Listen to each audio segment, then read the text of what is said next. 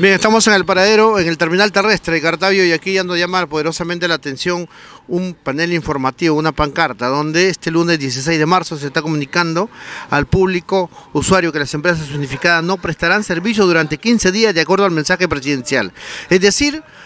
hasta, el día de, hasta el día de hoy solamente las empresas unificadas van a, van, este, van a, prestar el servicio al usuario. Ya desde mañana no van a tener ninguna unidad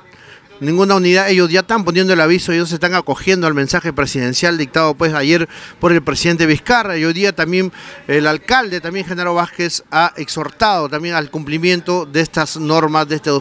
de estos dispositivos, es decir, ya no saldrán más unidades del terminal terrestre, totalmente restringido el, este, el tránsito intraprovincial.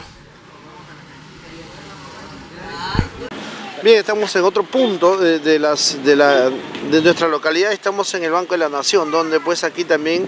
hay, no hay mucha cantidad, pero sí hay vecinos que han venido a hacer el respectivo trámite. Este es en otro punto de la, de la ciudad, el Banco de la Nación de Cartavio está funcionando normalmente, como se ve hasta estos momentos.